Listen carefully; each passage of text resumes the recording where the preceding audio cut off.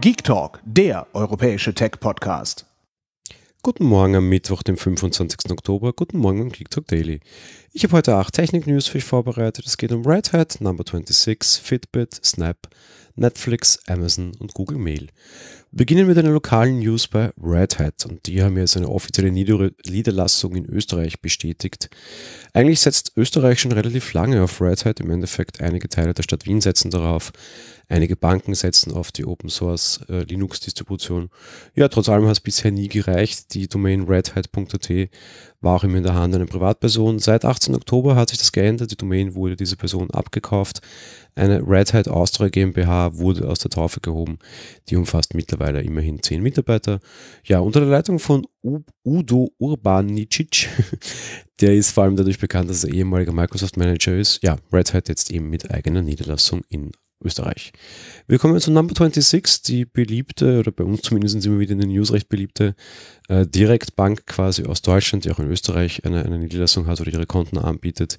Die feiern mittlerweile 500.000 Kunden und im Rahmen dieser Meldung, beziehungsweise auch im Rahmen der Money 2020 Konferenz in Las Vegas, gab die deutsche Firma, die von Wirecard kommt, quasi bekannt, dass sie jetzt auch ihr Angebot in den USA starten wollen. Wir glauben, dass Number 26 Vorbildcharakter für die Banken der Zukunft hat. Überall auf der Welt sind Kunden offen für ein neues Banking-Erlebnis.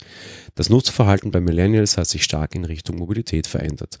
Das sagt der CEO eben zum Start des Bankangebots in den USA. Wir bleiben bei Bezahlungen, beziehungsweise halt bei Geld quasi mehr oder minder.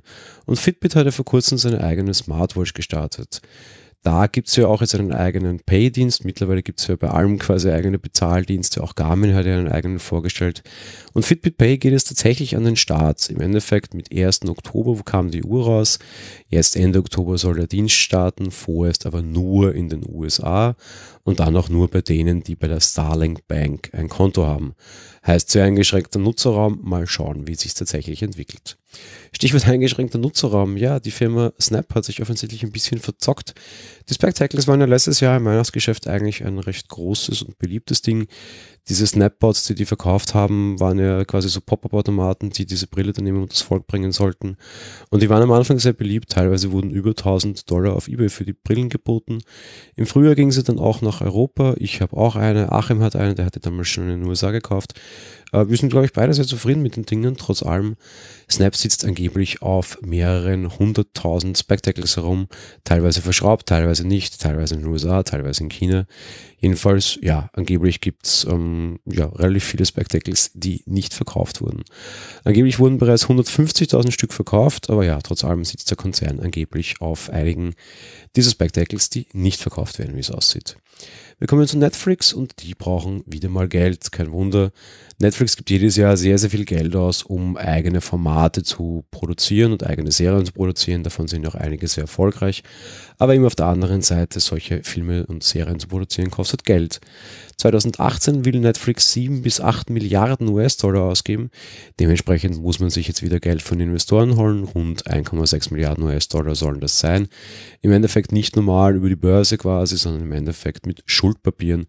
Bedeutet, man handelt mit Kunden Laufzeit und Verzinsungen aus. Da ist man aktuell gerade dabei, um sich so eben Geld für die nächsten Serieninhalte für das nächste Jahr zu holen. Kein Problem mit dem Geld, was seine Serieninhalte betrifft, hat ziemlich sicher Amazon. Die haben ja genug Geld. Und die bringen jetzt wieder am 10. November neue Pilot Seasons, nennt sich das. Bedeutet, ihr könnt euch die Piloten zu Serien angucken und dann quasi abstimmen, was ihr denn sehen wollen würdet und was nicht.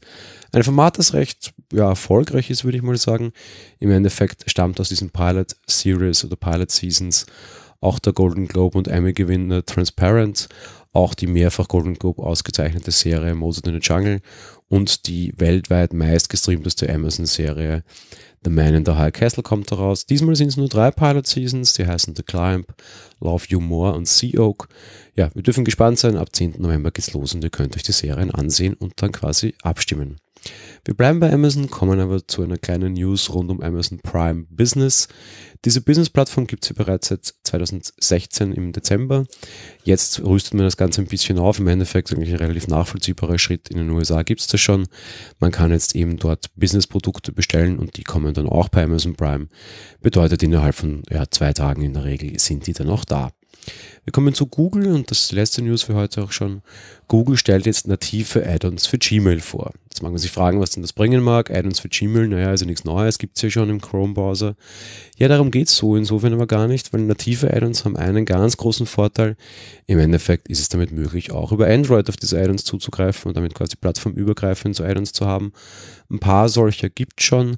Im Endeffekt mag man jetzt mit größeren Firmen zusammenarbeiten, zum Beispiel mit Ansana, Dialpad, DocuSign, Hire, QuickBooks, Rick, Smartsheets, aber auch mit bekannteren Firmen, zumindest in unserem Raum wie Streak oder Trello. Ja, wie gesagt, das war's mit der heutigen Folge. Freut mich, dass ihr mir zugehört habt. Wir hören uns dann morgen wieder bei uns in Österreich im Nationalfeiertag. Trotzdem wird es eine Folge geben. Und ja, insofern bis morgen, bis bald und ciao. Hört mehr Geek Talk.